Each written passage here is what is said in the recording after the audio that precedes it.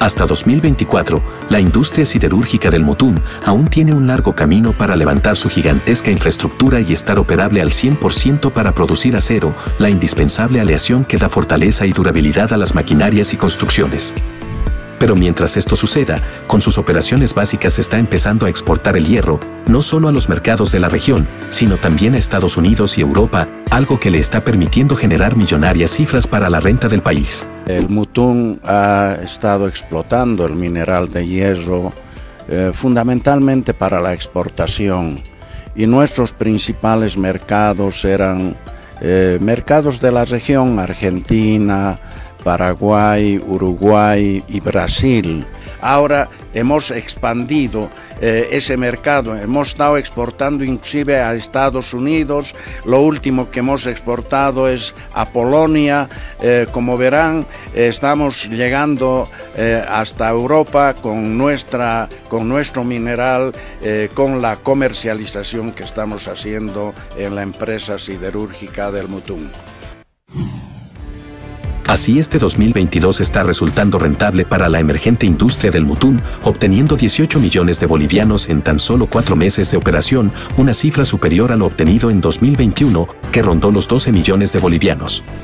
Unos buenos ingresos que esperan incrementar progresivamente por la venta del hierro, hasta que se termine el complejo industrial, que al final consumirá toda esta materia prima para darle valor agregado como acero.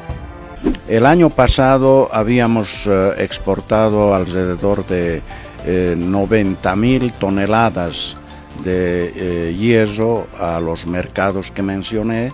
eh, y tuvimos como ingreso de cerca de 12 millones de bolivianos en todo el año 2021. Este año, ya en el, en el primer cuatrimestre, hemos logrado vender eh, exactamente la misma cantidad de lo que se había vendido el pasado año, pero con ingresos mayores. Eh, tenemos eh, cerca de 18 millones de bolivianos de ingresos, o sea, casi el doble de lo que tuvimos el pasado año. También tenemos la perspectiva de tener más ingresos todavía el próximo año, inclusive a, partir de este eh, fin de año, porque estamos comprando un equipo moderno eléctrico y eso ha de permitir incrementar nuestra producción. Vamos a incrementar de lo que estamos produciendo ahora cerca de 10.000, 12.000 eh, toneladas al mes